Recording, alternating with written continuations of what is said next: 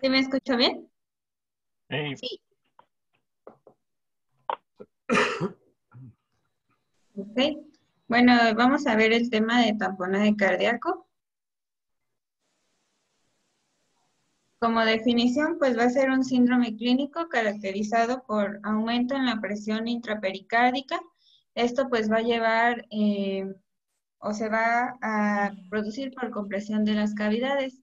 Va a producir una disminución del llenado ventricular y sobre todo alteraciones hemodinámicas.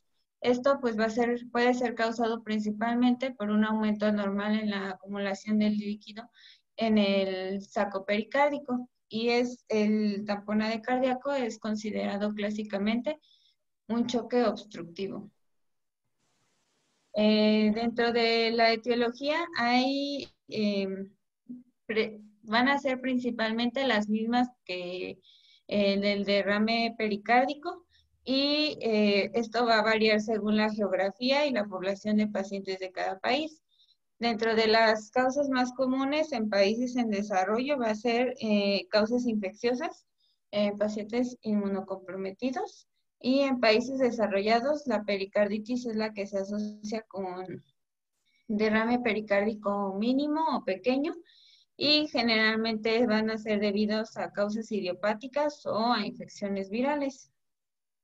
Dentro de los derrames moderados, pues hay gran variedad de causas médicas Em, y eh, que pueden abarcar eh, ruptura ventricular, disección de aórtica, eh, hemopericardio, puede ser un derrame maligno, pero este se va a asociar, los derrames malignos generalmente van a ser derrames grandes, también los derrames idiopáticos pueden ser derrames grandes, o los asociados con tuberculosis o mixedema, que pueden ser otra de las causas.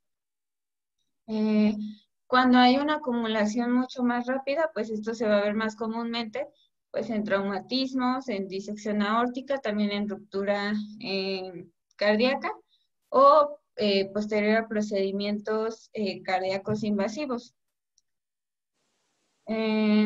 otra de las causas pues podrían ser falla renal por radiación, enfermedades inflamatorias como lupus, artritis reumatoide, o, otras enfermedades del tejido conectivo, eh, hipotiroidismo, eh, neumopericardio. Eh, otras causas pueden ser derrame pleural o la, la ventilación mecánica, neumotoras a tensión o también debido al aumento de la presión intraabdominal. Y pues dentro de las causas más comunes, como había mencionado, pues son las infecciosas. Dentro de la fisiopatología, pues normalmente el, el pericardio se va a... Existe una cantidad pequeña de líquido en el saco pericárdico. Este pues va a estar entre la capa eh, visceral y la capa parietal. la cantidad de líquido que hay en el saco pericárdico normalmente es de 15 a 20 mil litros. Em, este pues va a servir para facilitar la lubricación entre cada latido.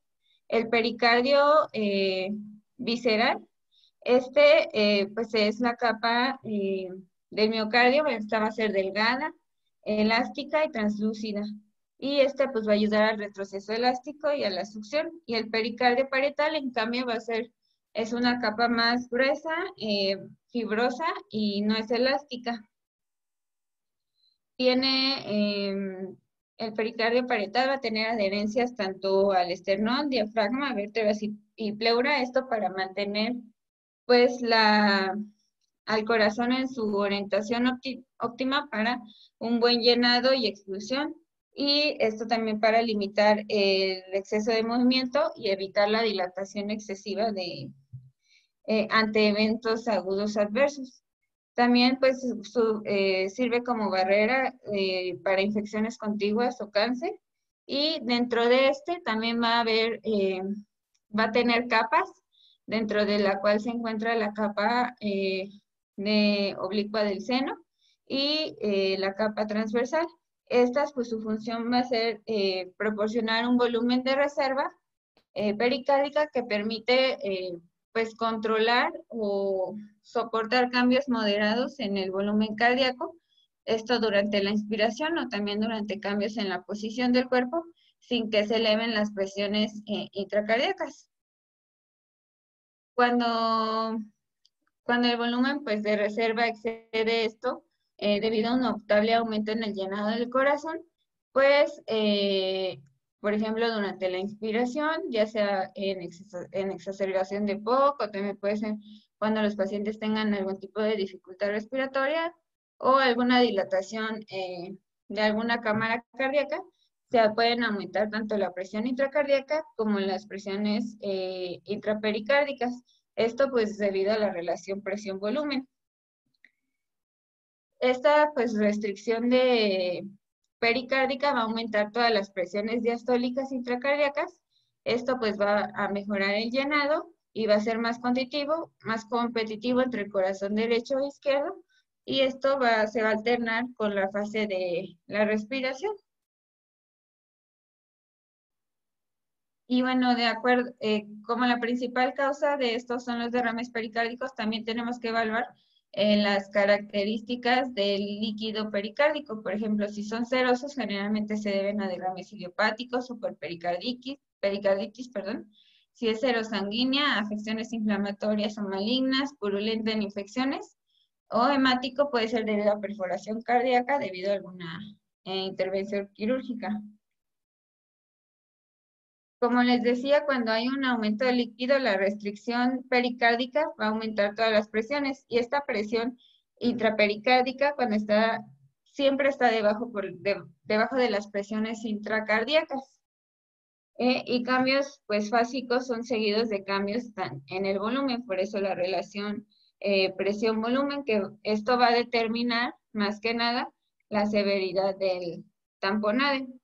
Em, cuando hay un derrame, pues su efecto hemodinámico no va a depender del tamaño del derrame, sino eh, de su presión, que va a estar determinado por la relación que les mencioné.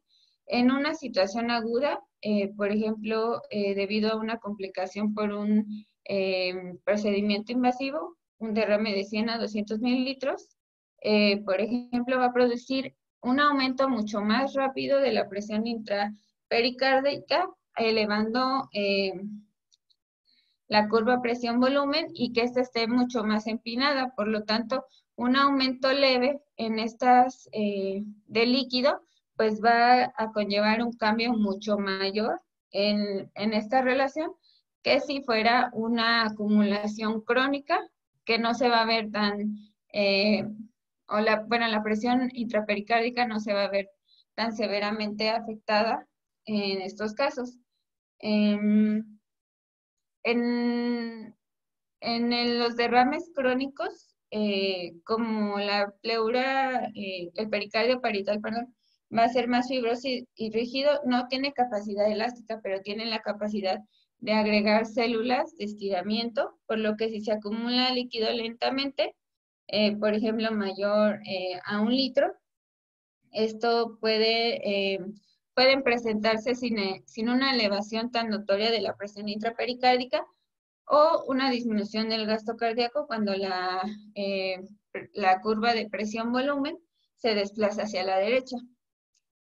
Este, pues este aumento en las... Em, eh, bueno, entonces en el tamponade cardíaco se produce una acumulación de líquido en el espacio intra, eh, intrapericárdico en relación con la distensibilidad cardíaca, pericárdica, perdón. Esto pues va a aumentar la presión intrapericárdica por encima de los valores en reposo y eh, este pues aumento se va a transmitir, transmitir a todas las cámaras cardíacas, siendo la de mayor importancia la aurícula derecha que tiene, eh, esta va a sufrir muchos más cambios porque tiene paredes delgadas y su presión intracardíaca es mucho más baja. Al aumentar progresivamente la presión intrapericárdica, el llenado y el, llenado cardíaco y el volumen cardíaco van a disminuir. Para que el corazón eh, se vuelva eh, más pequeño con, la, con una dimensión eh, ventricular mucho más pequeño y esto va a provocar en estudios de imagen que se vean los, los ventrículos hipertrofiados con paredes gruesas y esto es lo que podemos llamar una pseudohipertrofia.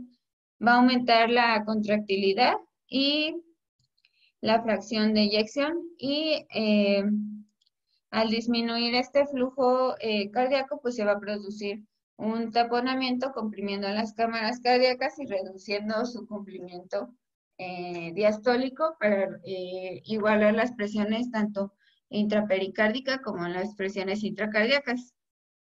Al no haber sangre saliendo del corazón, pues van a disminuir eh, todas las presiones, no va a haber un llenado adecuado eh, de la aurícula derecha durante la diástole y el llenado diastólico de la aurícula izquierda posteriormente también se va a reducir.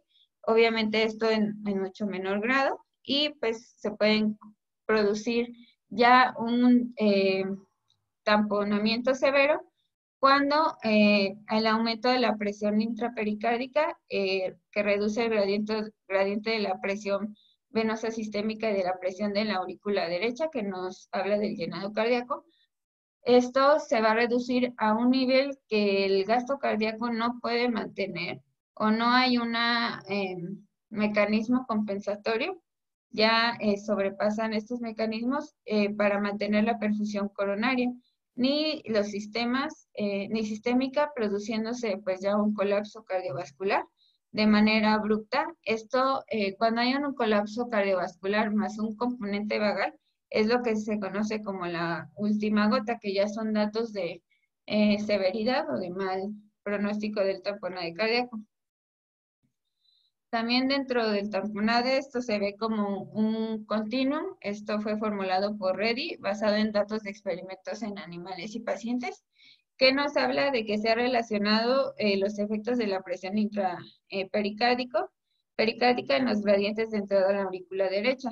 Cuando hay cambios anormales en las velocidades de flujo eh, transvalvulares, estos pues van a ser sensibles a aumentos leves en la presión intrapericárdica y ocurren antes del colapso de la aurícula derecha o de una reducción significativa del gasto cardíaco. Entonces, debido a esto, la presión arterial sistémica, como los mecanismos compensatorios, hay un aumento del, eh, del tono alfa-adrenérgico, pues va a mantener la presión arterial sistémica. Por lo tanto, no es un indicador clínico de gravedad, aunque los pacientes eh, presenten eh, hipotensión. Em, igualmente, los indicadores clínicos de gravedad que podemos ver pueden ser taquicardia, taquipnea, y el pulso venoso yugular elevado y el pulso paradójico.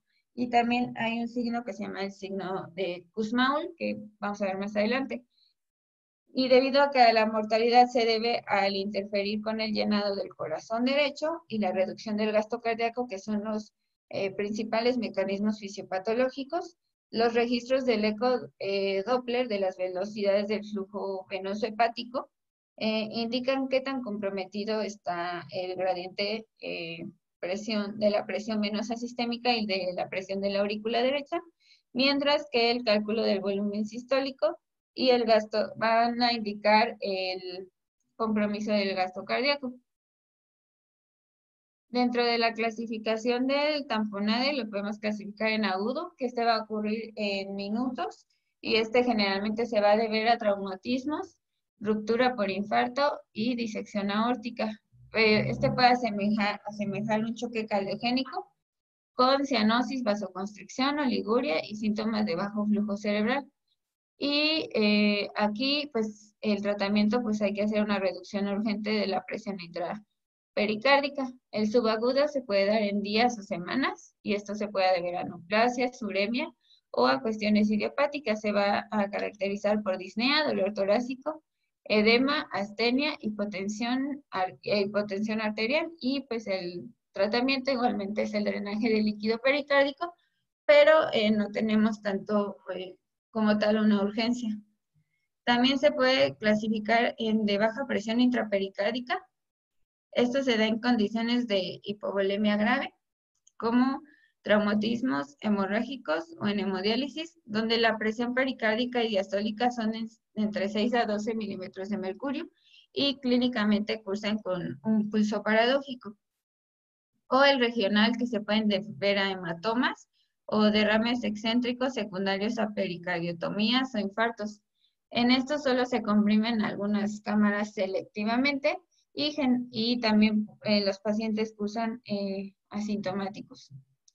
El diagnóstico aquí va a ser principalmente clínico y eh, debemos de basarnos en las alteraciones hemodinámicas y sobre todo en los datos ecocardiográficos.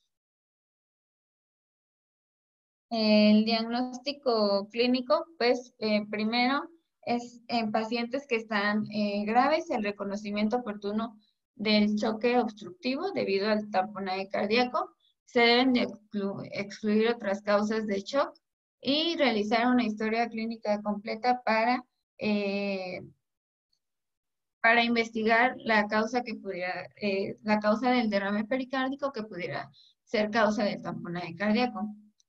Y se utiliza esta neumotecnia, neumotecnia de shock para eh, en la cama del paciente ver o descartar otros tipos de shock que pudieran estar causando eh, la sintomatología. Por ejemplo, en el shock séptico o distributivo, pues, se diferencia de los demás porque aquí hay un aumento del gasto cardíaco, en el hipovolémico las presiones de llenado están disminuidas, tanto la presión venosa yugular, la presión venosa central, la turgencia tisular y obviamente va a haber un historial de pérdida de volumen. En obstructivo va a haber un eh, aumento de las presiones de llenado y la diferencia en el, en el choque cardiogénico también las presiones de llenado van a estar aumentadas, pero aquí podemos diferenciarlo eh, con la, podría ser con la radiografía, porque a la exploración física y igualmente en las radiografías podemos ver que en el área pulmonar no vamos a encontrar eh, alguna alteración.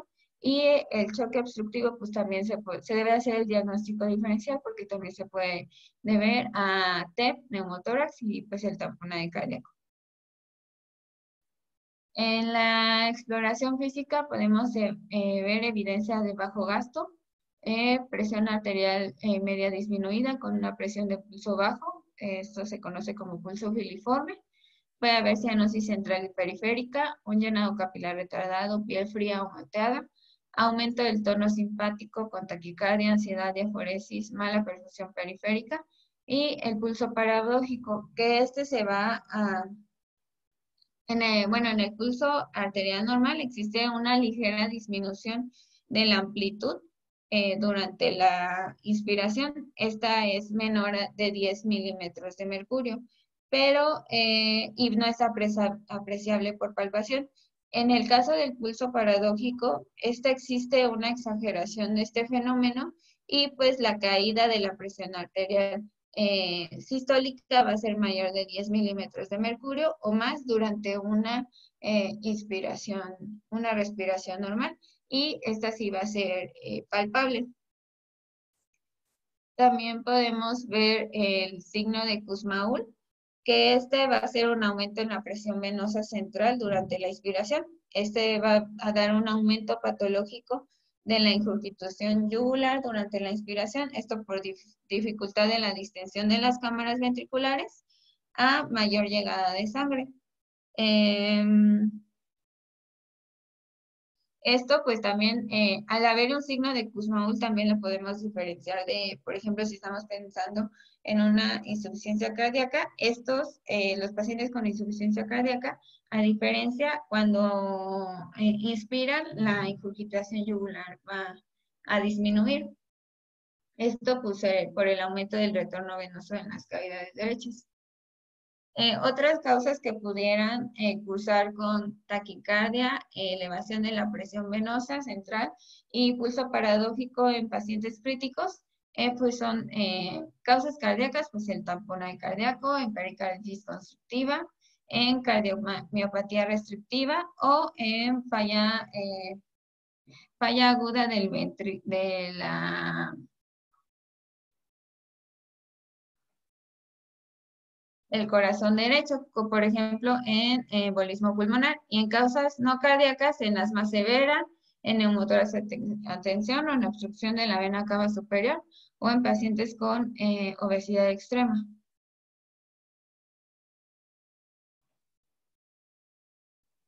Y bueno, este es un ejemplo de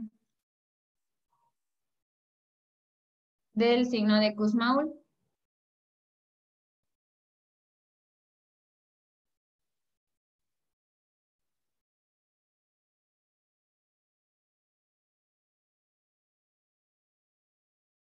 Que aquí pues al paciente le pidieron que, que inspirara y se, se nota un aumento en la incitación yugular.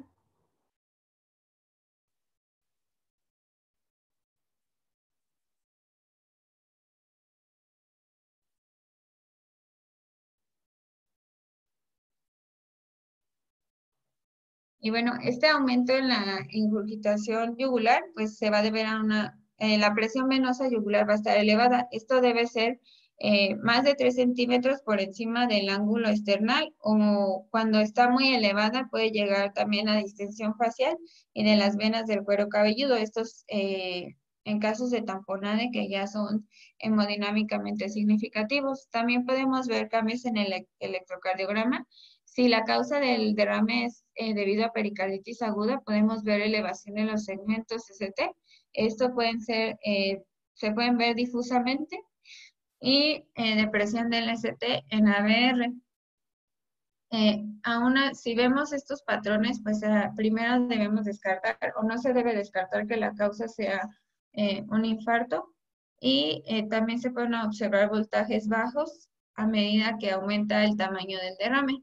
Esto es, los voltajes bajos se definen con menos de 0.5 milivolts en las extremidades, en las derivaciones de las extremidades. Y en derrames grandes se puede llegar a observar inversión de la onda T. Dentro de los eh, eh, signos característicos en el electrocardiograma podemos encontrar eh, la alternancia eléctrica, que esto pues se va a definir como eh, cambios en los complejos QRS, algunos se pueden ver un poquito más grandes, otros eh, posteriormente más chiquitos, no todos son de la misma amplitud y los complejos pues van a estar eh, disminuidos. En la radiografía de tórax, con derrames pericárdicos grandes, podemos ver más de, estos son más de 200 mililitros, pueden ver agrandamiento de la silueta cardiopericárdica, eh, se puede ver franja de, eh, franja de grasa pericárdica, puede haber derrame pleural del lado izquierdo y aumento en el diámetro cardíaco transversal. Estos son específicos pero no sensibles para tamponaje cardíaco. Y pues en, gran medida estos hallazgos van a depender del curso eh, de tiempo de, del derrame pericárdico. Como las, eh, el pericardio no se va a extender mucho más allá de las cámaras cardíacas, en, la silueta cardíaca vamos a ver que, esta se va a ir estrechando rápidamente cuando llega a los grandes vasos. Los campos pulmonares se van a ver eh, claros en la radiografía, esto pues para diferenciar de un eh, edema pulmonar cardiogénico, sugerente de falla cardíaca o eh, cuando hay derrames malignos que pueden ser muy grandes, estos no van a tener tanto efecto hemodinámico. Y bueno, esta es una radiografía de tórax. El primero es este, en un paciente sano y en la del lado B es en un paciente con derrame eh, pericárdico, que también se puede ver como la silueta en botellón. Y como podemos ver, es como una pseudohipertrofia, porque lo que estamos viendo es en líquido, eh, lo que está agrandando más la silueta, pero realmente lo que está marcado eh, dentro es realmente la, la estructura del corazón. Eh, esta es igualmente otra radiografía en la que se observa eh, en el lado A, por ejemplo, un marcado aumento de la silueta cardíaca y ya eh, se ve que no hay compromiso del parénquima pulmonar y no se visualiza el seno costodiafragmático izquierdo. Y en la B ya es la tomografía del paciente en la que por ejemplo, aquí pudiéramos pensar que tiene este, eh, cardiomegalia y ya tomando la tomografía que se registra ya el derrame pericárdico, que es grande, eh, circunferencial y hay un derrame pleural izquierdo. La, la TAC pues, nos puede ser útil para evaluar eh, calcificaciones en pericárdico, en pericardio, perdón, o también para descartar que eh, si tenemos duda de alguna eh, radiografía, si hay cardiomegalia o no, y también para patología extracardíaca, que pudiera ser el, buscar el origen del, derrame este, pericárdico en caso de que no tengamos alguna sospecha diagnóstica, y también es útil en derrames, taponamientos o derrames localizados. Eh, dentro del top paciente que sospechemos de tamponade, pues debe de tener este, un ecocardiograma. Eh, hay tres tipos, el bidimensional, el em, Doppler y el tridimensional. El bidimensional pues, eh, nos va a ayudar para evaluar el tamaño del derrame. Que este pues sí se mide su, su diámetro, si son menores de 10 milímetros se consideran pequeños y eh, se estima que tienen un volumen de 300 mililitros o menos, de 10 a 20 milímetros son moderados y se estima que tienen de 400 a 600 milímetros de volumen y más de 200 milímetros, eh, estos son o, circunferenciales, tienen un volumen de más de 700 mililitros y nos pueden indicar que se puede producir un tamponaje cardíaco. También eh, dentro del eco vamos a ver eh, los hallazgos para tamponade, pues es el colapso de las cavidades cardíacas derechas. Esto pues porque las presiones derechas están disminuidas y las cámaras eh, derechas van a ser visiblemente impactadas en las primeras etapas de afectación hemodinámica. Dentro del colapso vamos a ver dos fenómenos, el colapso diastólico temprano del ventrículo derecho este va a ser como tal un hallazgo de taponamiento cardíaco por el, aumento de la presión intrapericárdica. La, la, compresión de esta cámara puede progresar involucrando el flujo de salida, principalmente del ventrículo derecho, esto en su porción basal. Y el colapso diastólico tardío o invaginación de la aurícula derecha, este va a ser un hallazgo sensible de taponamiento cardíaco y su valor predictivo eh, va a aumentar utilizando el índice de inversión de aurícula derecha, que este va a cuantificar la fracción del ciclo cardíaco que produce colapso diastólico. Si el colapso eh, auricular derecho persiste durante un tercio o más del ciclo cardíaco, este va a ser eh, específico para taponamiento cardíaco. Otro eh, de los datos eh, para diagnóstico es la incurgitación de la vena cava inferior, que aquí se ve con ausencia de colapso inspiratorio normal, y este va a ser sensible pero no específico, y el movimiento septal anormal, que hay un desplazamiento de derecha a izquierda durante la diástole, y este fenómeno pues va a contribuir al pulso paradójico.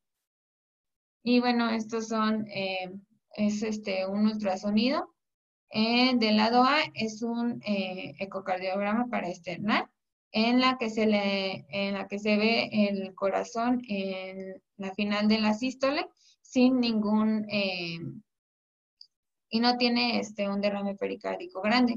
En el lado B se ve este, en, la, en el principio de la diástole y aquí se ve como la presión intrapericárdica pues excede la presión del ventrículo derecho y esta, eh, la presión pues transmural va a resultar en invaginación del, del ventrículo derecho, que es una de las características que podemos ver en el ecocardiograma, y aquí se ve como aquí está en la sístole normal y en la diástole se ve invaginado.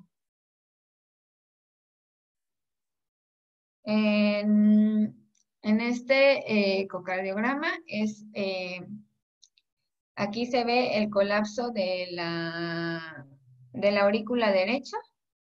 Eh, y podemos ver aquí en esta parte donde están las flechiquedas, cómo se ve este, el colapso de la aurícula derecha al final de la diástole. Eh, dentro de los ecocardiogramas, el más sensible va a ser el Doppler. Y aquí el llenado, vamos a ver un llenado diastólico temprano disminuido. Y eh, dentro de los criterios para tamponade ah, va a haber una, un 30% de reducción en la velocidad del pico inspiratorio de la onda mitral y em, y un aumento inspiratorio en la velocidad máxima de la onda E de la válvula tricuspidia mayor al 40 al 50%. Va a, va a haber una disminución del flujo diastólico de las venas pulmonares en inspiración y un aumento en expiración y el flujo diastólico eh, eh, reverso de las venas hepáticas igualmente va a estar comprometido. El eco eh, tridimensional, este únicamente se va a usar en casos seleccionados. Se puede utilizar para determinar o delimitar el derrame eh, pericárdico en taponamiento de manera más exacta y igualmente se puede observar movimiento anormal septal, dilatación de la vena cava y variación respiratoria de las velocidades de flujo transvalvular. La el eco transesofágico, este está indicado para ayudar en el diagnóstico y tratamiento de tamponamiento cardíaco, en el que el eco convencional no nos dio datos específicos y pudiéramos tener duda, pero debido a, cómo se realiza, pues a veces no, no se puede realizar en el paciente que está inestable hemodinámicamente o debido a que no, no lo tenemos disponible. Dentro de los signos eh, que pudieran eh, indicarnos que este, el tamponade puede ser una situación potencialmente mortal, pues es la presencia de taquicardia, taquipnea, el pulso paradójico y eh, las características del ecodoppler de taponamiento cardíaco. Esto pues va a ser independiente del tamaño del derrame pericárdico, como les había mencionado, eh, la severidad del taponamiento eh, no va a depender del tamaño del derrame, sino de su relación con las presiones.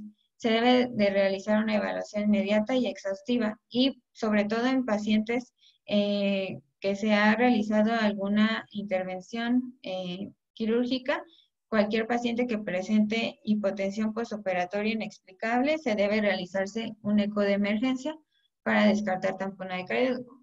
Esto sobre todo en pacientes que se les ha realizado alguna cirugía cardíaca o de tórax.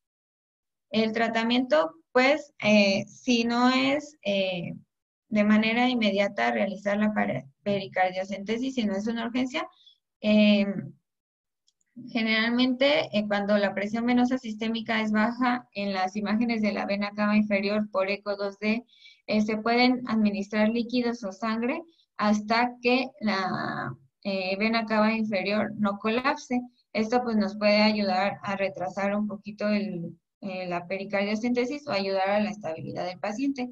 En pacientes que no tienen eh, flujo diastólico en las venas hepáticas, incluso con la inspiración se puede llegar a utilizar vasopresores o también en pacientes con ningún flujo anterógrado, excepto con inspiración, igualmente se pueden utilizar vasopresores para eh, no llegar al...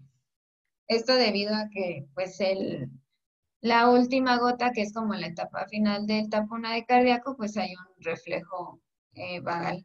Y la pericardiocentesis, incluso una eliminación pequeña de líquido, pues va a disminuir la presión intrapericárdica y mejorar el estado hemodinámico, el gasto cardíaco y los síntomas.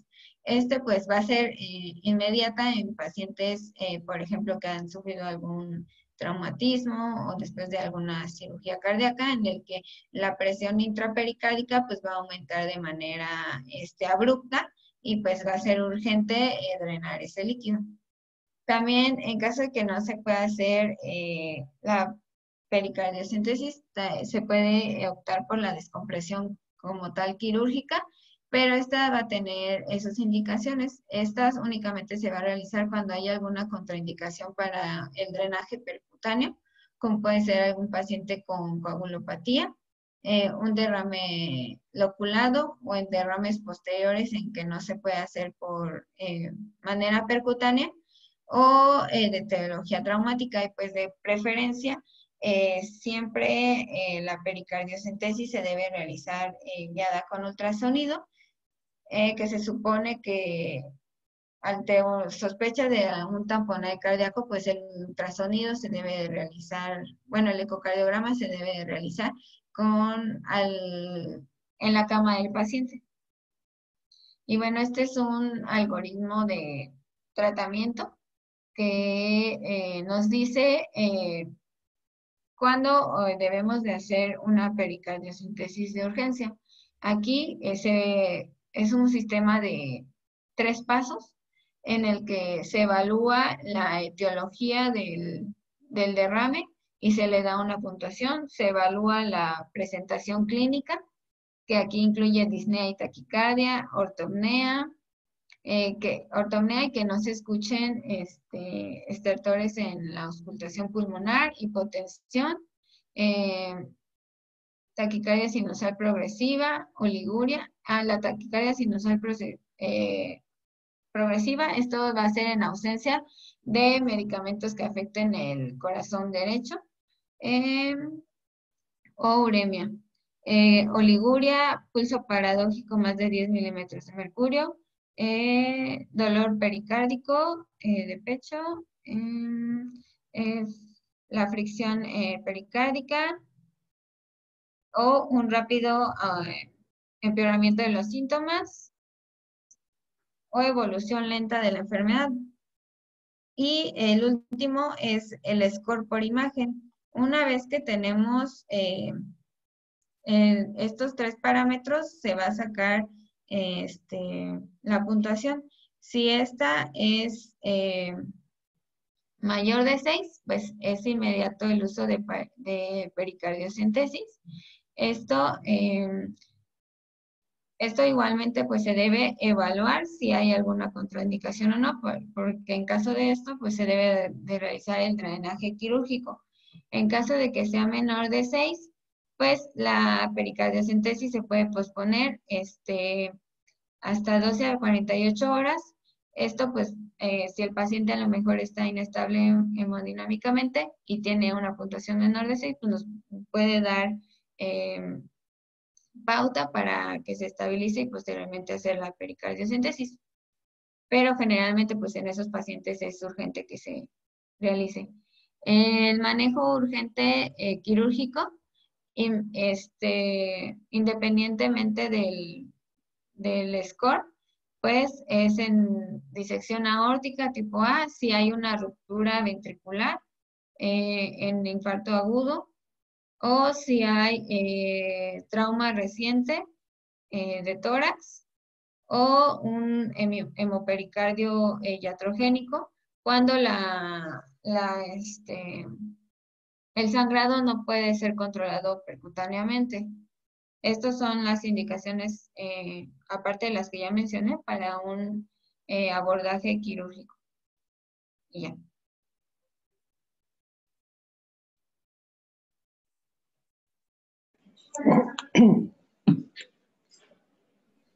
¿Listo? Sí, listo. ¿Alguien, ¿Alguien tiene alguna pregunta? No. Sí. Ah, ¿todo bien? ¿Nos fue el doctor Lascano, va? Sí, que hoy dijo que tenía que ir a la escuela, me fregado. Sí, nadie se, se cambia de chat now. Bueno. Este, a mí me pareció bien en general, no sé si alguien quiere preguntar algo, agregar algo. Mis niños, ¿cómo Aleida, Citlali. No, doctor, todo bien. Este... No, cualquiera. Esta. Pues nada más que es algo que sí vemos frecuente, sobre todo en nefro en pacientes descompensados.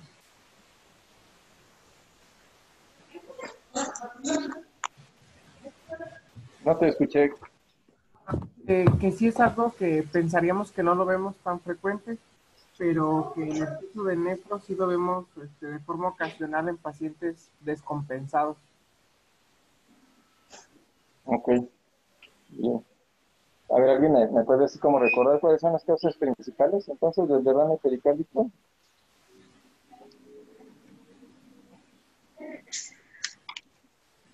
Infecciosas.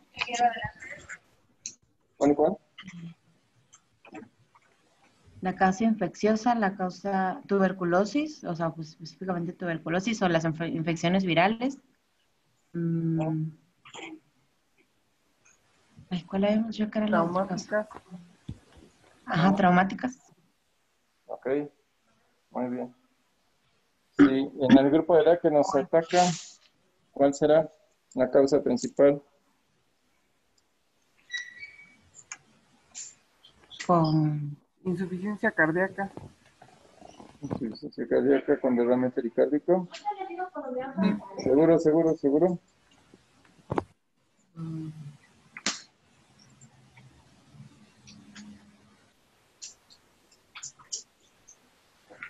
Pues también reumatológicas también producen derrame pericárdico. Sí, también la producen, aunque no es tan frecuente en el adulto mayor, ¿verdad?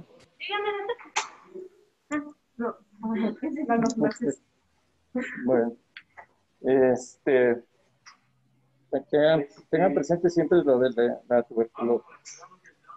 Que este, aunque la, la referencia dice que es muy alta, en lo personal no he visto tantos derrames pericárdicos por tele, pero siempre la mencionan. La segunda es lo de las enfermedades virales. Ajá.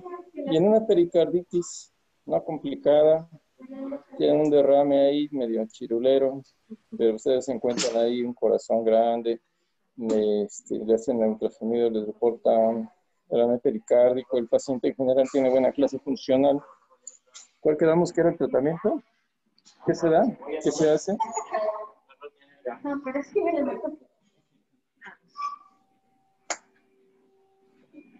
Hola. Perdón, doctor, ¿cuál fue la pregunta? Es que no le, no le escuché. Ah, ¿qué, ¿qué sería de tratamiento en un derrame pericárdico leve a moderado, sin tamponade? Ustedes encuentran una pericarditis.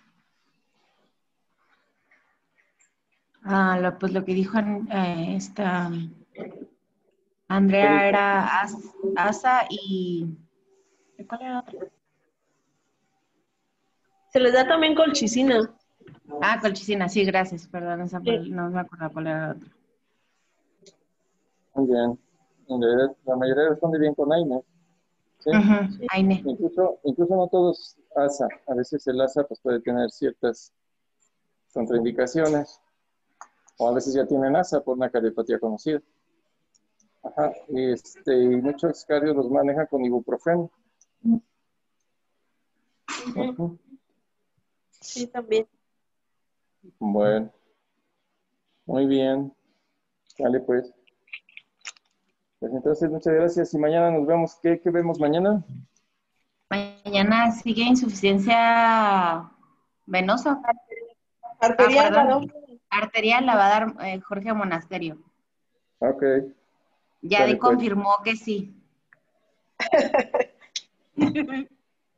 Insuficiencia arterial periférica, dice mamá. Sí. Árale. Gracias, buen día. Gracias. Gracias, Dani. Gracias. Bye. Gracias.